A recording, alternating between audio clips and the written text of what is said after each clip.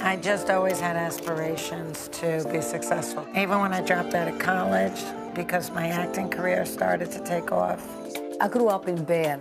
It keeps me organized. I think my Swiss upbringing has some kind of an organizational effect on me. I feel American. I was born in New York City.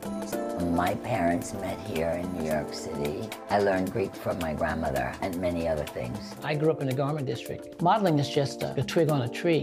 You know, you try to do pictures. I'm not really a, a print girl. I was always a runway model. And things just happen as you move along. It was very easy to want to be on stage, and I used to be successful as a tap dancer.